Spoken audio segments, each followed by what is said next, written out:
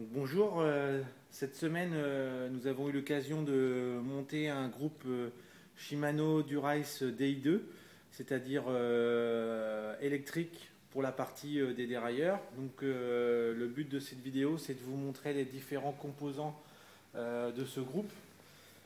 On va passer d'abord à la manette, donc les leviers un peu plus ergonomiques que la Durice classique, un petit peu plus longue à ce niveau ici deux boutons pour les impulsions électriques, un pour monter, un pour descendre. Nous allons y revenir tout à l'heure euh, sur l'arrière du vélo avec le dérailleur euh, arrière. Donc euh, un système de câblerie qui court le long du cadre pour venir jusqu'à l'alimentation, donc la batterie qui se trouve sous les bidons. Donc petite batterie lithium-ion d'une capacité de 3000 km. Donc euh, aucun souci de, capacité euh, de tomber en panne avec euh, cette batterie. Le dérailleur avant, donc le dérailleur avant classique sur la partie du bas et le moteur qui se trouve en haut. Donc je vais vous faire fonctionner tout doucement. Donc là vous descendez et là vous montez. Donc ça passe vraiment très facilement et c'est très rapide. Donc ce dérailleur a une autre particularité. Euh, on va y revenir avec le dérailleur arrière. Donc euh, nous passons au dérailleur arrière. Donc euh, pareil, classique sur le devant, le moteur se trouve à l'arrière avec le câble qui court sous le, sur le cadre.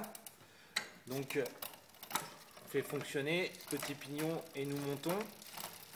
Et la grosse particularité, c'est que par rapport à l'alignement de la chaîne, où vous vous trouvez sur la cassette, la fourchette avant se centre automatiquement sans que vous ayez à toucher du tout à votre dérailleur avant.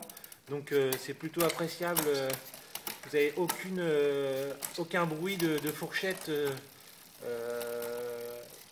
donc c'est très très appréciable au fonctionnement. Donc voilà, donc ça c'est un groupe que nous avons monté sur un client. Donc c'est assez cher pour le moment, mais ça, va- ça va être l'avenir, euh, je pense, euh, euh, du vélo qui va arriver dans ces prochains mois et ces prochaines années. Donc ça va se décliner d'après moi en plusieurs gammes pour les années à venir.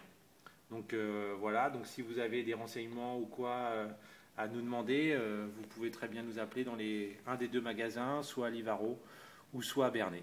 Donc euh, voilà, j'espère que cette petite vidéo, euh, petite nouveauté même, euh, vous aura un petit peu orienté sur ce nouveau groupe euh, DI2.